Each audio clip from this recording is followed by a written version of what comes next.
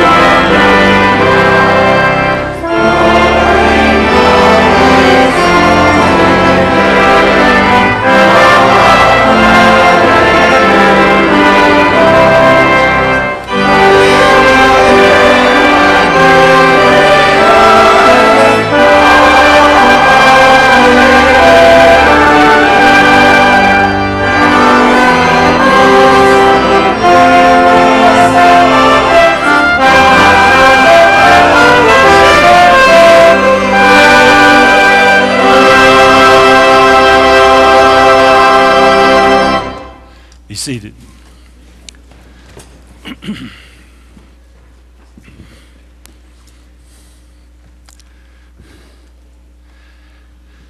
Today is a special day in the life of our church as we celebrate the confirmation of our confirmation class. And uh, I want to invite the members of that class to come forward now.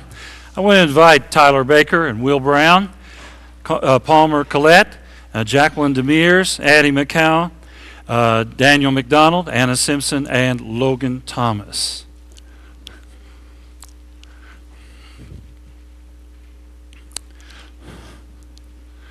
Congregation may turn to page 33 in your hymnal.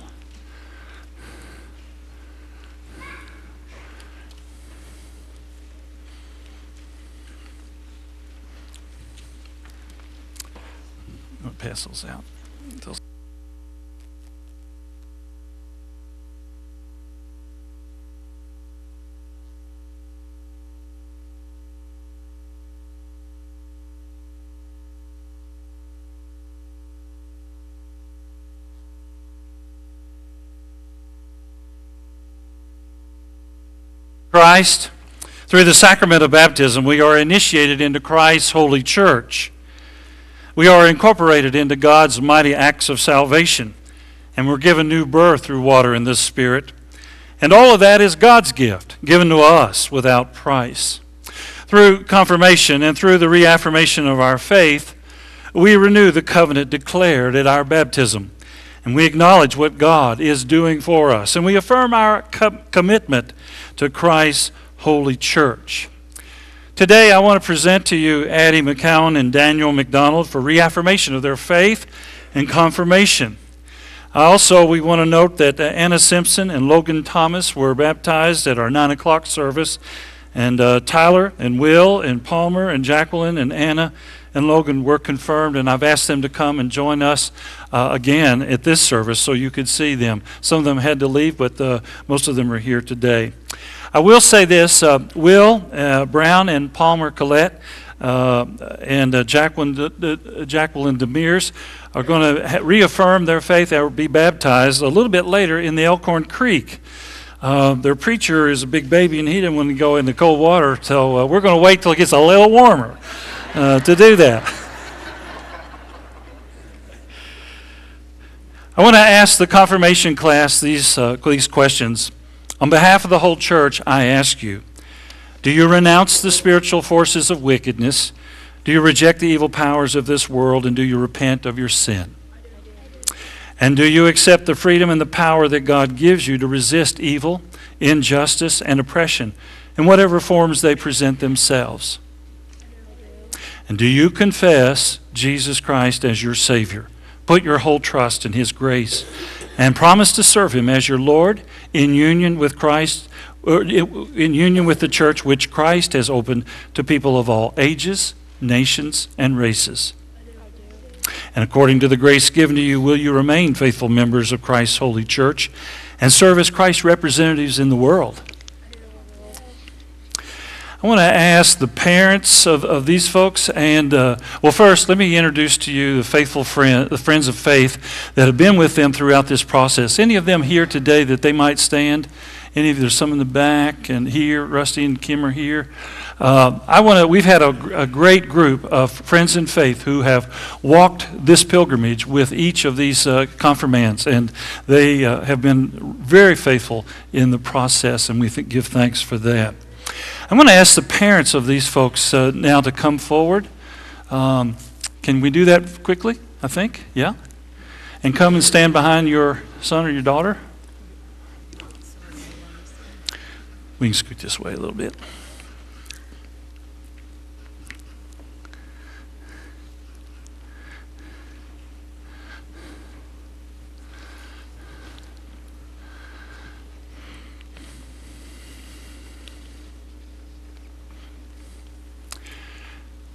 As sponsors of these confirmands, I want to ask each of you as parents will you, uh, will you support and encourage them in their Christian life? We will. And do you, as Christ's body, the church, reaffirm both your rejection of sin and your commitment to Christ? And will you nurture one another in the Christian faith and life and include all of these persons now before you in your care? With God's help, we will proclaim the good news and live according to the example of Christ.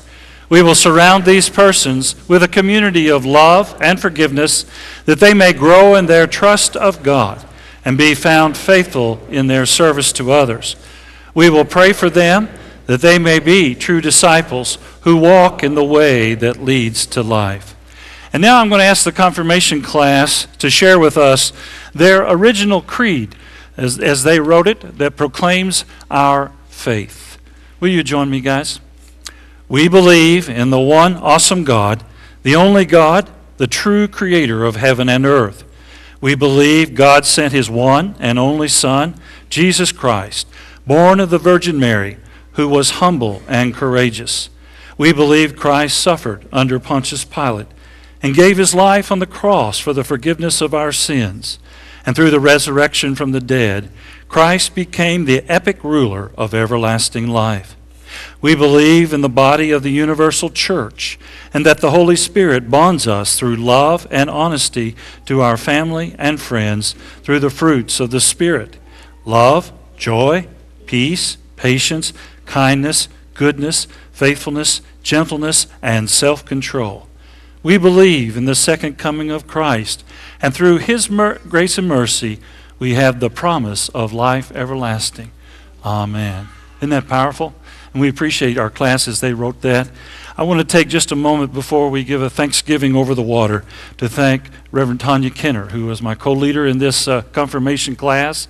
And uh, I couldn't have done that without her, and I really appreciate her help. Now, in your, in your hymnal, uh, turn over to the next page, I think it is, uh, for the thanksgiving over the water.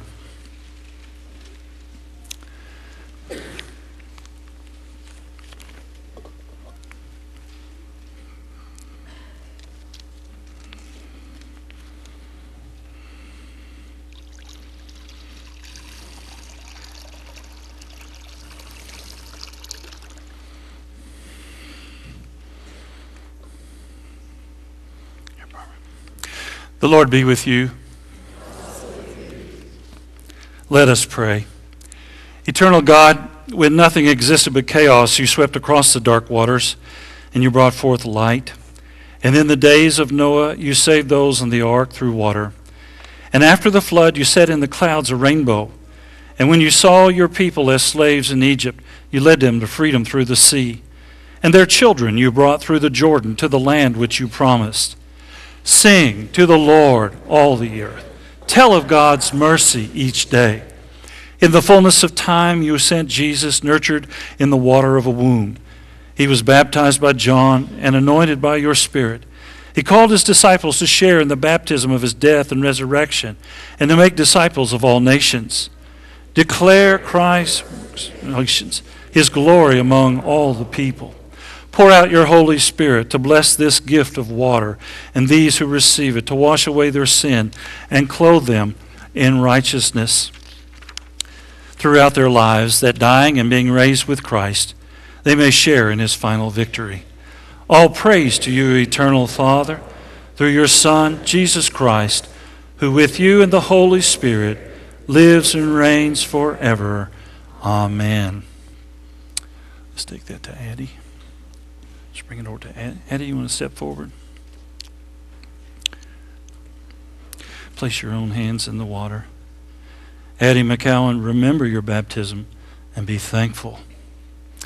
Will you all place your hands on her, please? And Addie, may the Holy Spirit work within you, that being born through water and the Spirit, you may be a faithful disciple of Jesus Christ. Amen. God bless you. Daniel, you come forward? Folks, place your hands in the water. Daniel, remember your baptism and be thankful. Let's place our hands on him, please. Daniel, may the Holy Spirit work within you, that being born through water and the Spirit, you may be a faithful disciple of Jesus Christ. Amen. Amen. God bless you. I'm going to ask the confirmation class. We asked this question at 9 o'clock, but I'm going to do it again for this 11 o'clock service. As members of Christ's universal church, will you be loyal through the United, to, uh, through the, to Christ through the United Methodist Church and do all in your power to strengthen its ministries? Will you do that? I will. And as members of this congregation, First United Methodist Church, Will you faithfully participate in its ministries by your prayers, your presence, your gifts, your service, and your witness? Will you do that? Then I want to extend to you again the right hand of Christian fellowship and welcome you into the family of First United Methodist Church. God bless you. I also want to share with you that uh, Todd and Alicia Brown here, Will's mom and dad, and their, uh, their son Drew. Drew comes as a preparatory member. But Todd and Alicia uh, joined the church this morning at the 9 o'clock service, transferring their letter from the uh, First Baptist Church here in town. And then uh, I wanted to introduce to you uh, DJ and Mark and Zach and Gunner and Jet Wasson. I think they're in the back here, but they, they transferred their letter this morning as well at the 9 o'clock service. Now let's have the commendation and welcome, can we? Members of the household of God, I commend these persons to your love and care. Do all in your power to increase their faith, hope, uh, confirm their hope, and perfect them in love. Will you join me? We give thanks for all that God has already given you, and we welcome you in Christian love as members together with you in the body of Christ and in this congregation of the United Methodist Church. We renew our covenant faithfully to participate in the ministries of the church by our prayers, our presence, our gifts, our service, and our witness, that in everything God may be glorified through Jesus Christ. Amen. God bless all of you and thank you. Welcome. Welcome to First United Methodist Church. You may be seated.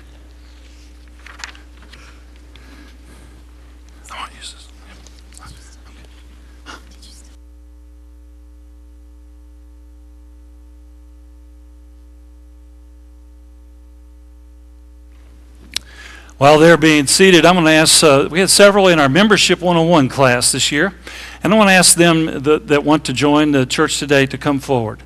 I know we have several, I think.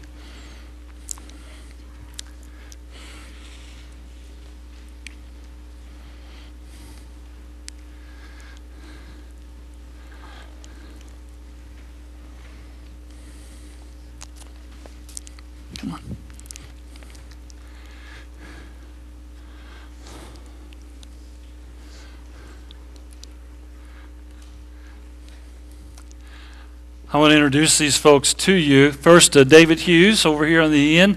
Uh, David is transferring his letter today from the Buck Run Baptist Church here in Frankfort. And then there's uh, Bob and Joyce Wilcher.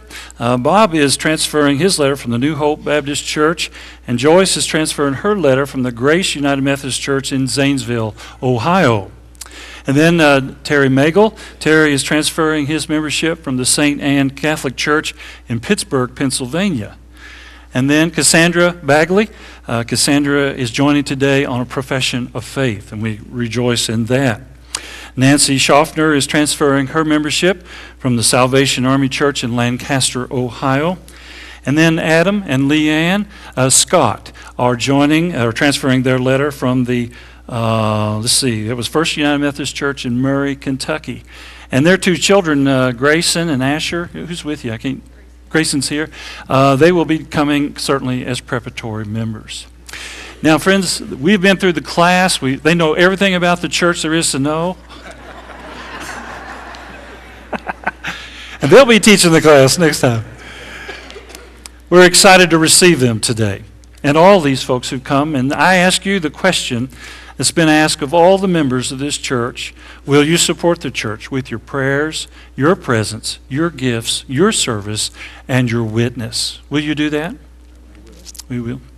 And I want to extend to you the right hand of Christian fellowship and welcome you into First United Methodist Church. What a joy and honor it is today. What a blessing. God bless you. Bless you, David. Will you greet these folks and welcome them?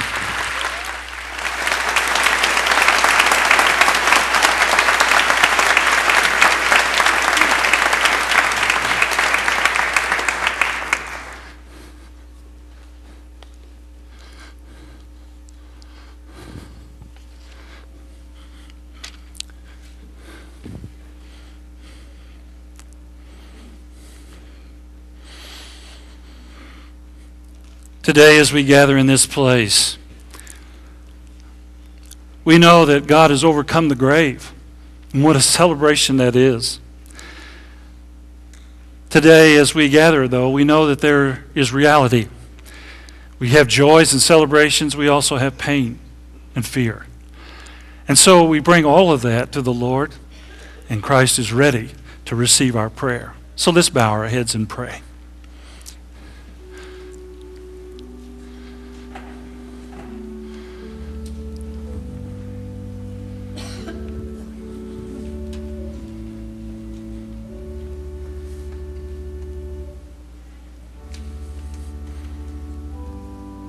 Loving and holy God, as we gather in this place today, we rejoice in the knowledge that you are Savior and Lord.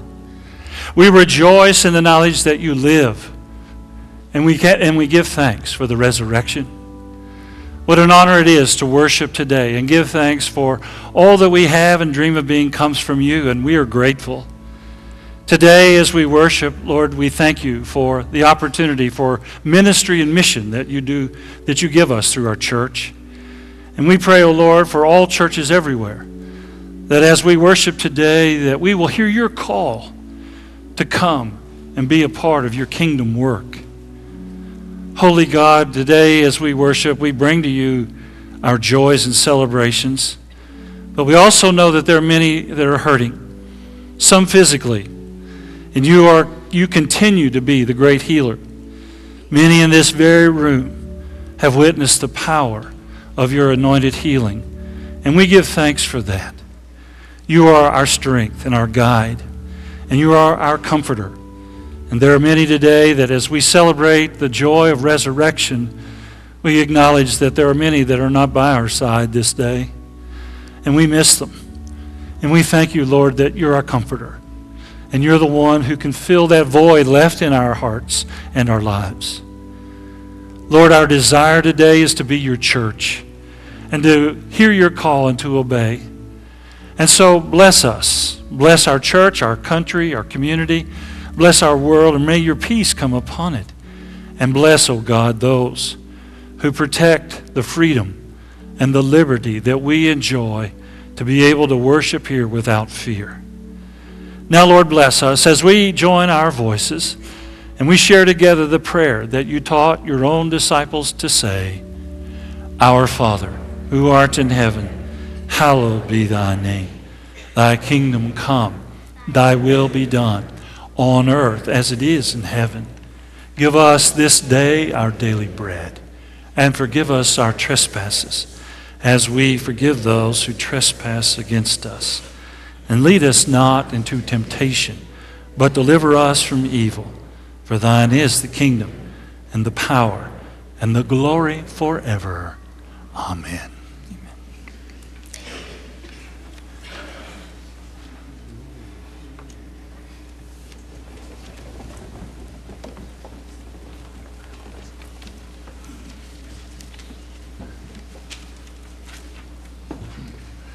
Amen.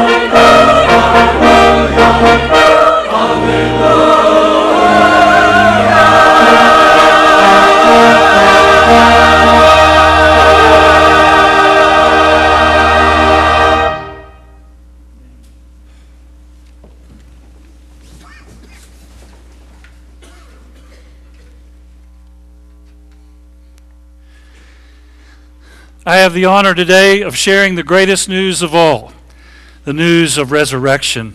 Let's stand together as we hear the gospel. Today, our scripture comes from the Gospel of John in the 20th chapter, beginning at the first verse.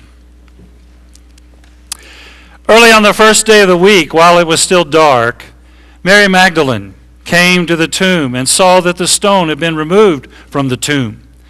And so she ran and went to Simon Peter and the other disciple, the one whom Jesus loved, and said to them, They have taken the Lord out of the tomb, and we do not know where they have laid him. And then Peter and the other disciples set out, and they went toward the tomb. And the two were running together. But the other disciple outran Peter and reached the tomb first. He bent down to look in and saw the linen wrappings lying there, but he did not go in. And then Simon Peter came, following him, and went into the tomb. And he saw the linen wrappings lying there, and the cloth that had been on Jesus' head, not lying with the linen wrappings, but rolled up in a place by itself. And then the other disciple, who reached the tomb first, also went in. And he saw and believed. For as yet he didn't understand the scripture that he must rise from the dead. And then the disciples returned to their homes. But Mary stood there weeping outside the tomb. And as she wept, she bent over to look into the tomb, and she saw two angels in white sitting where the body of Jesus had been lying, one at the head and one at the feet. And they said to her, Woman, why are you weeping? And she said to them, They have taken away the Lord, and I do not know where they have laid him. And when she had said this, she turned around and saw Jesus standing there, but she didn't know it was Jesus. Jesus said to her, Woman, why are you weeping? Whom are you looking for? And supposing him to be the gardener, she said to him, Sir, if you have carried him away, tell me where you've laid him, and I will take him away. And Jesus said to her, Mary. She turned and said to him in Hebrew, Rabboni, which means teacher. And Jesus said to her, Do not hold on to me because I have not yet ascended to the Father, but go to my brothers and say to them, I am ascending to my Father and your Father, to my God and your God. And Mary Magdalene went. And she announced to the disciples, I have seen the Lord. And she told them that he had said these things to her. This is the word of God for the people of God.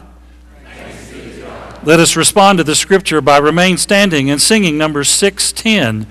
And our choir will insert a third verse and then we'll sing the third verse.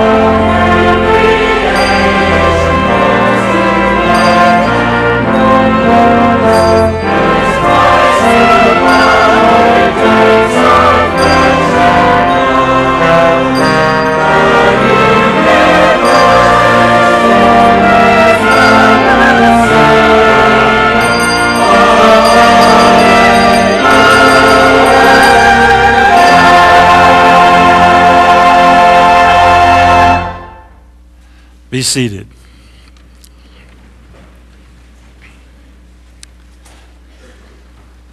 Let us pray. And now, O Lord, as your word is revealed, we pray that the meditation of our hearts and the words of my mouth will be acceptable to you. In Christ we pray. Amen. Before I begin, I've got to say thank you to David and Roy and the choir and all the musicians that we have had during our Lenten season. It has truly been a fantastic uh, time of reflection.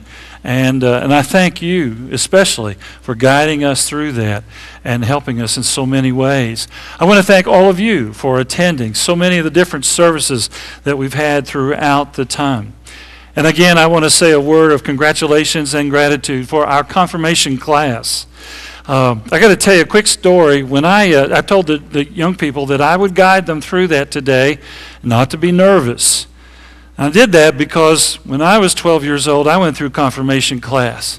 And the preacher did just like we did today. He asked the class to come forward, and so I stood up. The next thing I knew, I woke up in my dad's car. I'd passed out, and I. So I didn't want any of that happening today, so uh, anyway. Let me start out with a scenario for you. Every day, a gentleman goes to work, and every day he would ride the elevator all the way to the bottom floor of his high rise apartment building that he lived in. But when he came home from work, he would ride the elevator only up to the sixth floor. He'd get off, and then he'd get in the stairway and take the stairs all the way up to the apartment, the floor where his apartment was, many stories higher. He did that every day, except on days when it rained. On those days, when he came home from work, he would take the elevator all the way up to his floor. Wonder why? Here's another one to think about. Anne is lying on the floor, dead. There's broken glass, some water around. And Stuart is over there, asleep on the couch, seemingly oblivious to Anne's death. How did Anne die? Do you ever play those kind of games where you're presented with a scene? I see some of you nodding your heads. And you're only allowed to ask yes and no questions. So I'll tell you what I'll do. I'll tell you the answers to all that so you won't be sitting there going, I wonder how that happened. Anyway. Okay. Well, the first uh, one, the gentleman who would only go to the sixth floor on his return home from work, he did that because, honestly, that was the highest button he could reach on the elevator panel. He was a very short man. On the days that it rained, though, he had his umbrella with him, and he could reach up there and poke that top one. And in the other situation, Anne, I got to tell you, is a fish, and Stuart is a cat. Yeah. And Stuart knocked the, the glass over and broke it. And you know the rest of that story. Let's try one more. Friday afternoon, a man dies, and he's buried on that same night. And Sunday morning, some friends of his arrive to, at the tomb that he is buried in to pay their last respects, only to discover that the body is gone. What happened? My friends, you know what happened. The tomb is empty. Nobody doubted that part of the women's story. And so what they needed to decide for themselves was why was it empty? And what did it all mean? And friends, you and I are here today, and we have to decide the same thing. We all agree, I think, that the tomb is empty. We wouldn't be here today if we didn't believe that. But the question is, how are we going to respond to this empty tomb? How is it going to affect our life? Now, you heard this scripture. There were three people talked about in that scripture who all responded a little differently to what they found. The first one to the tomb was the, the disciple that Jesus loved, John. And when John heard the news, he jumped up and he ran with all of his might to get to the tomb. He wanted to believe. Friends, of all the disciples, he had been, if you will, the most faithful. He'd been in the courtyard when Jesus was interrogated and sentenced to die. He'd been there at the foot of the cross as he watched Jesus die. He was there to take Jesus' mother into his own home and care for her. He was so excited about the possibility that Jesus might actually be alive that he ran faster than he ever had before. But when he got to the tomb, he didn't go in. He looked inside. He saw what Mary had said was there, but he stayed outside. Maybe he stayed outside because, you know, he had to catch his breath after that run. I know I would have, you know. I'd, it'd be roughing and puffing. Maybe he stayed outside because he was afraid. I mean, what if Mary was wrong? What if Jesus' body just had been moved to another part of the grave? John didn't really want to, want to see Jesus all mangled from the torture of the beating and certainly the cross. What if once Peter and John were in the tomb, what if some guards suddenly appeared it could have been a, an elaborate trap set up by the Roman government. They'd taken Jesus' body away to lure the disciples there. And once the disciples arrived, they would arrest those disciples and, and charge them with trying to steal the body to make it look like Jesus had risen from the dead. The empty tomb was enough evidence for John that what the other women had said was true. Jesus really had risen from the, de- from the dead. John didn't need to see Jesus to know that Jesus was alive. He had heard Jesus' prophecies and teachings about his uh, or his death and resurrection, and now here it is. Here's the empty tomb. It was enough. A lot of you here today are probably like John. The empty tomb is enough. You believe that? You believe it because of the testimony of lots of Christians in the centuries that followed? We don't need to see to believe. In fact, we join with John in being the ones whom Jesus speaks about in a few verses later in that same scripture that I was reading to you. He says, Blessed are those who have not seen and yet believe. John reacted to the empty tomb with belief. And then you got Peter. Peter was a little slower than John to arrive at the tomb. I don't know, maybe it was because John was younger than Peter. Or maybe it was because of all those years of fishing uh, had given Peter uh, arthritis. Do any of you know what I'm talking about there? In his knees and in his back. He didn't move too fast. Or maybe it was because he was afraid, afraid of what he might find. Oh, he wasn't afraid of the soldiers for, I mean, Peter was the one who whacked off the ear, one of them a few days ago. Peter wanted to see Jesus, but there was this part of him inside that dreaded that idea because the last time their eyes had met, it was just after Peter had denied Jesus. If Peter saw Jesus, he knew he was going to have to be confronted with his sin and with his guilt.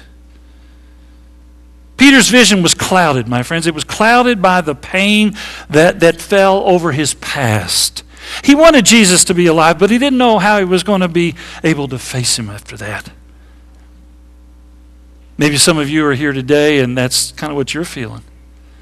You want to believe, but there's so much history back here in the past. It's just too much to believe too difficult to believe that Jesus' resurrection could wipe away all your pain. But my friends, listen, I'm here to tell you today that Jesus Christ can, will, and desires to forgive you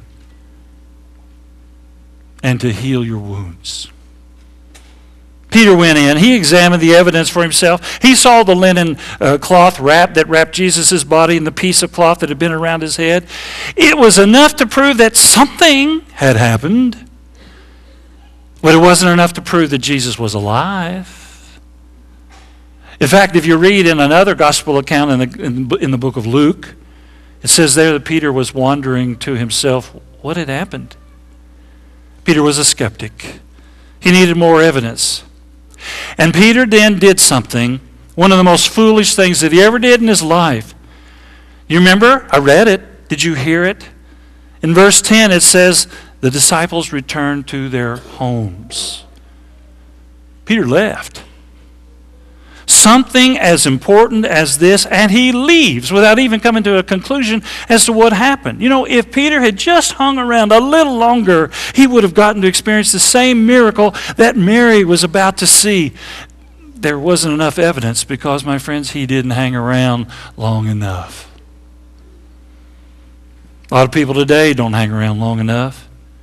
They don't have enough evidence to place their faith in Jesus because they don't hang around. They don't read God's word enough. They don't spend enough time with God's people. They don't read. They don't pray near enough. They get up off their knees and walk out that door before the miracle happens. They aren't present to see the miracle of God changing God's changing power. My family, today I want to tell you don't leave. Don't leave before the miracle happens, okay? Paul, I mean Peter walked. I'm looking at Paul Brunster, our district superintendent, Elizabethtown. Welcome, Paul. Good to see you. Peter, Peter walked away, my friends, with his heart broken. Do you hear that? Don't let that happen to you. And then there's Mary, Mary Magdalene. When Peter and John left, Mary stayed. And the angel asked her that good question. He said, Why are you crying? If you remember back over in verse 1, when we started our scripture for today, it said it was still dark. It's talking about the time of day, but it's also talking about the condition of their hearts. Mary had lost that which was most valuable to her, more valuable than anything else. She had lost Jesus. Why was that valuable? Because to her, Jesus was release. You may not remember this story, but when Jesus met uh, Mary, she was enslaved by seven demons. And Jesus had cast those demons out, and she was set free. She had peace. Jesus meant peace for her. Any of you have small children? Anybody here? A lot of you do. Yeah, I see lots of hands around. You know what it is to have small children pulling at your coattails in all different directions? Can you imagine having seven demons in your head trying to take you all in different directions at the same time, places you don't want to go? When Jesus cast those out, he gave her peace. And then forgiveness. Not only had Jesus released her from her demons, he'd released her from her sin. He'd forgiven her all those actions that had allowed those demons to inhabit her in the first place. And lastly, was somebody to believe in. Well, there was somebody to believe in. When Jesus was alive, Mary had become a part of a group of women that financially supported him.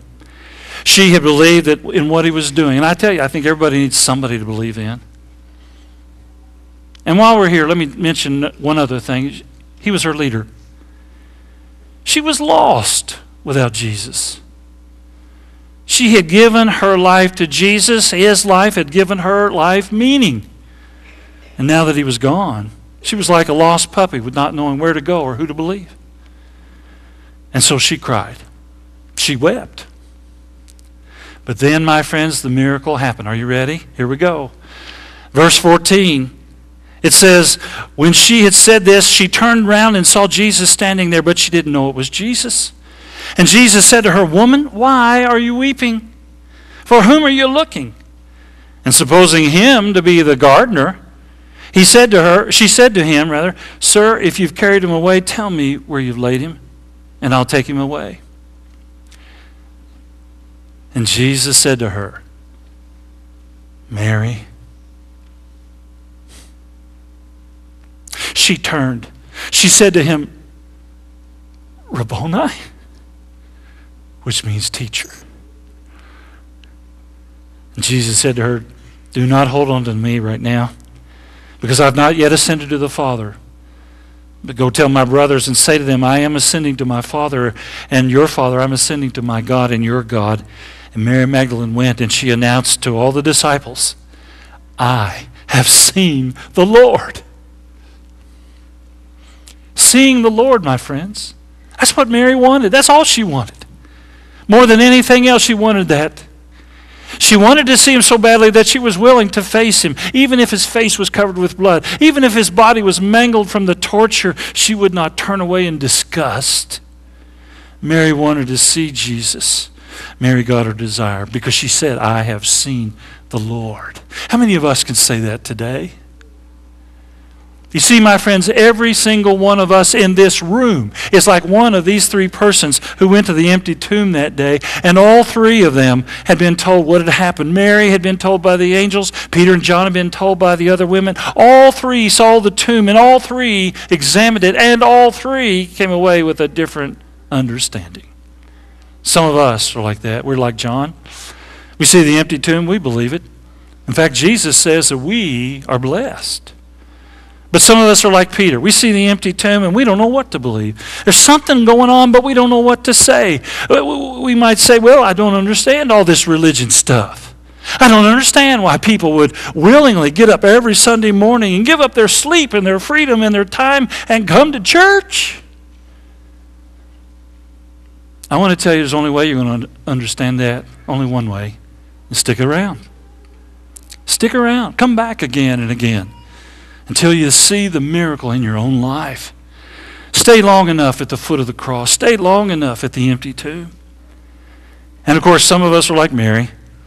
We see that empty tomb, we see the change in people's lives, and we think there's got to be some practical explanation as to what's happened. Mary, listen, Mary didn't believe at first. Are you with me? But she hung around long enough to have her questions answered, and her faith grew. Maybe that's you. Either you're not quite sure what happened that day, or really, you're not quite sure what happened that day, what part that's going to play in your life on this day. You may ask, what does it all mean, or what does it mean for me? My friend, since Jesus is alive, Jesus can be those things that Mary thought she had lost. Uh, what? Re- release and peace and forgiveness and a sense of purpose and, and, and, uh, and um, leadership. Here it is. Today, maybe you're ready to believe in Jesus. If you're ready to believe, maybe you've had a prayer answered and you see and you can say, I've seen Jesus. Then I want to give God thanks for that. And what a blessing it is. If it's been a while though, and you're not sure, I want to suggest to you stick around. Come back next Sunday, and the next Sunday, and the next Sunday. Come back until you see Jesus. But my friends, listen, listen, listen. Do not be like Peter and walk out that door with your heart broken or your heart empty. Don't say no to the pleas of God as He calls you. But let me encourage you to offer yourself today. And I promise you, God will give you new life.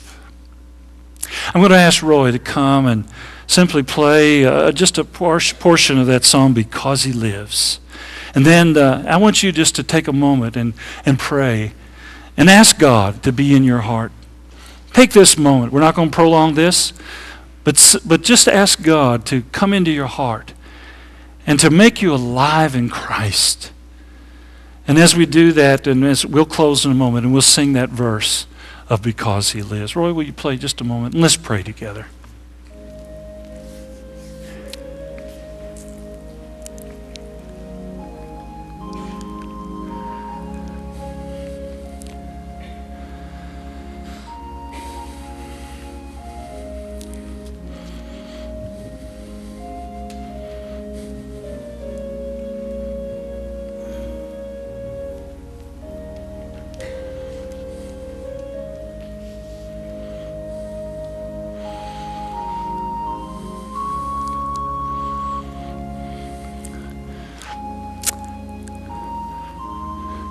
Let me invite you to stand.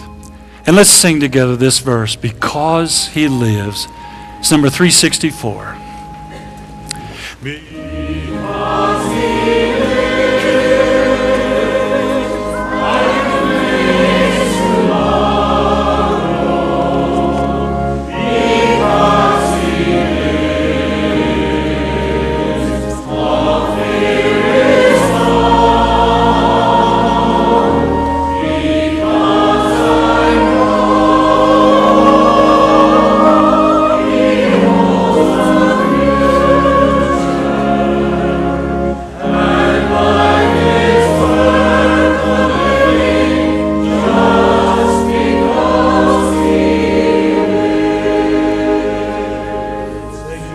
Coming into our lives. Because you live, all things are possible.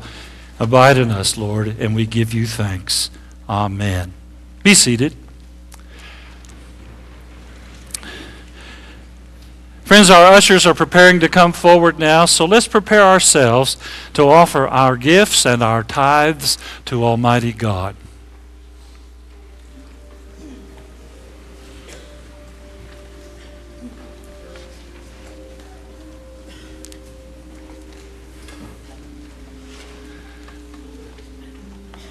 What a blessing it is, O oh God, to be able to sh- experience the resurrection and realize that you've given your all for us. And now, as we share in this time of giving, we want to give our all to you. Make us generous people and give us the opportunity to glorify you now through these gifts and tithes. Bless them. In the name of Christ we pray. Amen.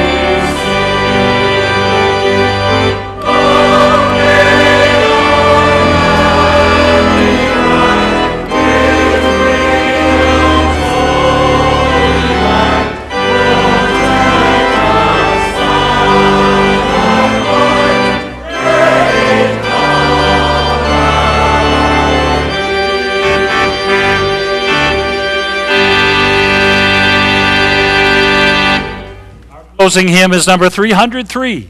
Let's sing the first and last verse, the day of resurrection.